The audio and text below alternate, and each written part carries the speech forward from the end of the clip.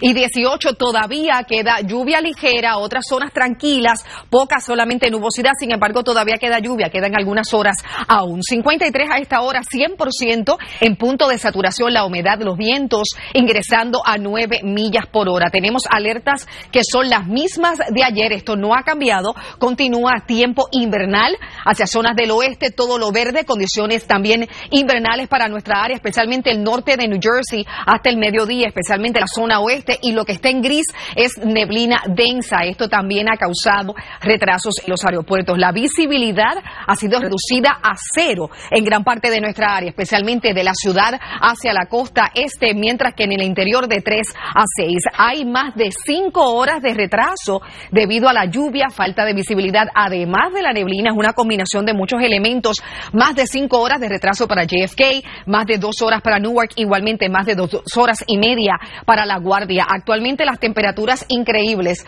estos números en el medio, en mediados de enero, 63 como máximas, área metropolitana de 49 a 54. El cambio ha sido hasta de 20 grados por encima de las temperaturas que teníamos ayer y este cambio, este descenso va a ser al revés mañana. Vamos a tener un factor de sensación 40 grados de diferencia en descenso.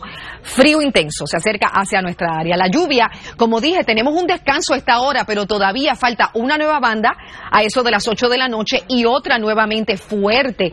Muy fuerte se van a sentir eh, relámpagos, se va a sentir también fuertes vientos a eso de las 3, 4 de la mañana. Sin embargo, tempranito en la mañana esa lluvia sale, el hielo termina, también problemas de congelación y la nieve se hacia zonas del norte de Nueva York y nosotros más bien tendremos sol en horas de la tarde. Así que empieza gris en la mañana, temperaturas en 46, luego el domingo también sumamente congelante, apenas en los 20. Así que ese descenso viene pero intenso y viene con fuerza.